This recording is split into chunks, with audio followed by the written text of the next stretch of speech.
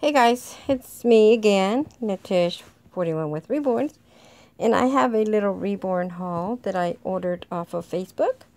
And I've already opened it, but I haven't actually seen the item myself in person. Sorry guys, but I'm doing this one-handed. There you go. Okay, so this is from Brenda on Facebook to me.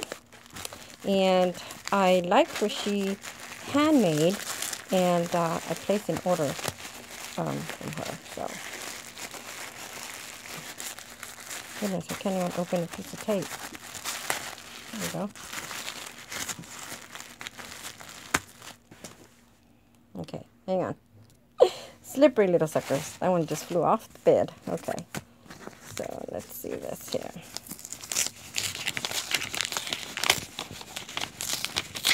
So she sent me a card too.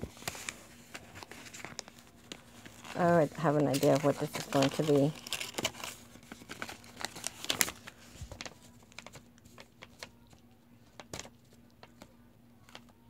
Goodness.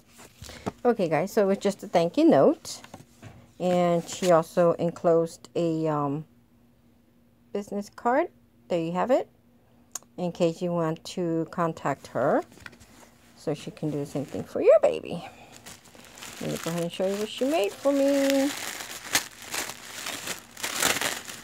Look at this, look at this. And I'll be coming back to show you a um, clip video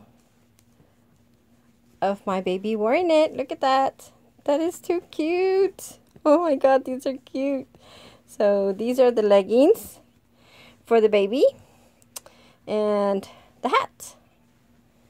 And these are um, handmade crochet by Brenda. Thank you so much, Brenda. And I will go ahead and share this on Facebook so that she can see because she wants me to um, put them on my baby and take a picture and um, share with her. Alright guys, well that's it. And I will see y'all real soon.